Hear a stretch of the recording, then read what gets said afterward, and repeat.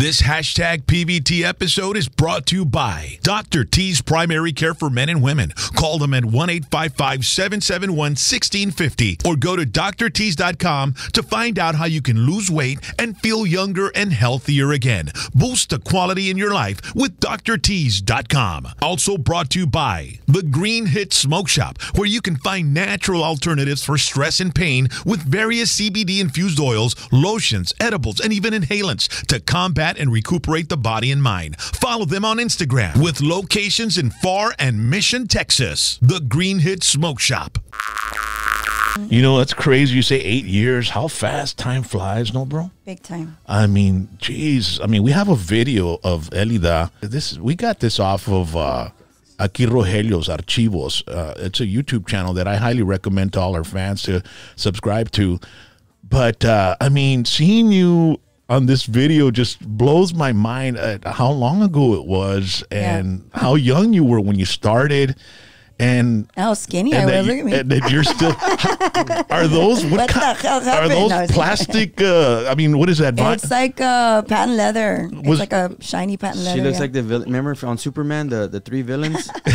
what were they called? yeah They yeah those- that's right dude yeah but had how, those pants. how hard was it to get into those things I, I mean tough. Yeah? And then on a on a hot, sweaty, hot day. Oh my goodness.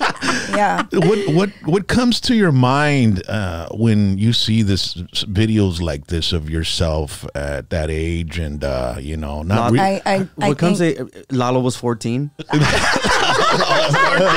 like that. era un squinkling un polluelo era un work en Mercedes dicen quito work huerquito backwards Oh.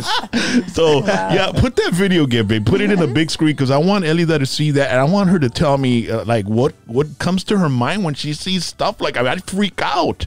I just think like how young and and naive we were, but hungry. Mm-hmm. We were just had a lot of animo and we just had a lot of chemistry between the band and and um, we were working hard. I remember we were um, we weren't on the road. We were in, doing radio, videos, doing all kinds of stuff.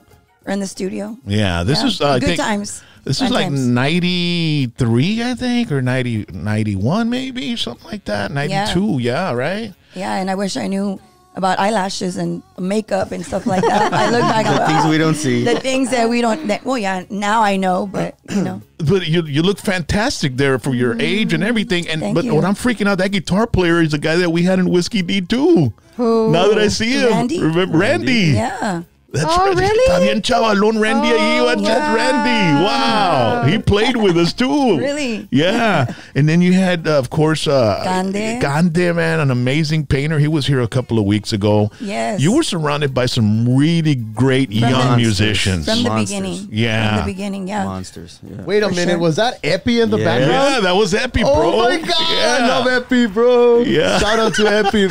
Yes. Yeah. Epi and friends. Yeah. so, sure. do you still keep contact with the guys? Oh, of course. As a matter of fact, we just saw Cande. Um, I was a guest speaker in um, Los Fresnos High School Uh-huh. because they have the, the program that we're gonna. I want to talk about in just a bit.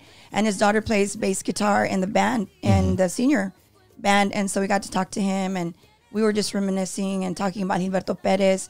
He even got a little teary eyed because they played one of his songs, and so yeah, I mean, I hadn't seen him in in years to be honest. I keep in touch more like with Noe, and I see Epi here and there, and um, I just saw them um, at a festival that they had in Elsa with Noches Bohemias with Ricky Ramos, and uh, the guys came by to support. You know, Noe was there, and Epi, and I think Toots was there, Turi, Yeah. Turi, yeah. Al- yeah, um, Alviar, and um, of course some of the other guys. You know, took a picture with them, and it's always just great to catch up and see what they're up to. And Noe's on the road, and yeah, with Yeah, uh, Los he's on the Tex. Maniacs. I saw him in San Benito. yeah, and then of course well, Lucky was there too. Lucky was p- performing, so we all took a picture together. It's just Yeah. great to see everybody, and You know, just I brings gonna, a big smile to my face. I was gonna yeah. say there was never, there's never been any hard feelings, or Animosity or anything. No, Nah. Between the the transition of the old Avante and, and what we've done for the past, I don't know, 15, 16 years.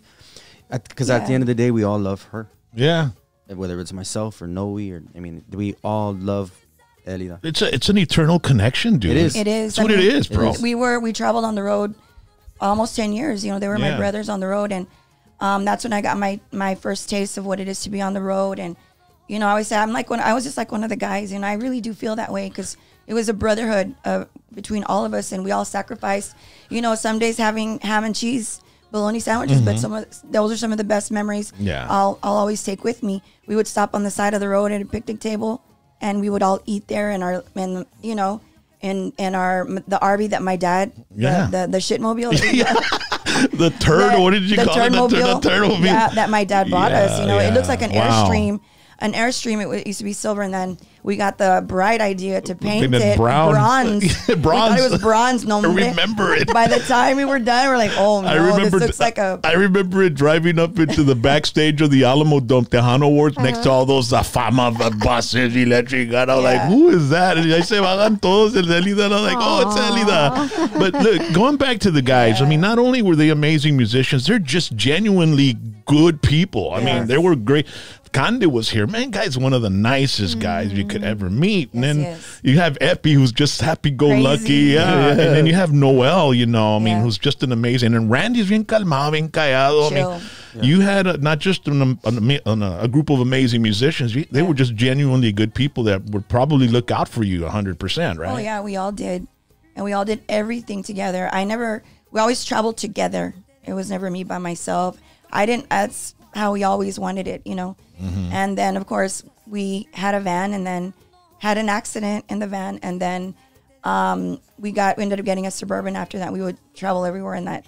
It was a clunky old suburban, but Yeah. hey, it got us everywhere we needed. That's all know? you need. I mean, those yeah, are at that the. time we were sacrificing because basically what we were doing at that time is like we would get paid a little, but the rest went into getting equipment, getting lights. Mm-hmm. You know, we were trying to do that bit. So we had a truck, we had things that we wanted, we had goals, you know, and so we are trying to put we put our pennies together and and you know get equipment and do do all that, and then merchandising and all that good stuff. So- Yeah, and you went through some record label bullshit, you know, Yeah, back then too, and then you you Yeah. you overcame that. Yeah. uh, you know, and the, the guys ended up. I mean, Kanda decided he just wanted to give up music. What did you think when he said that?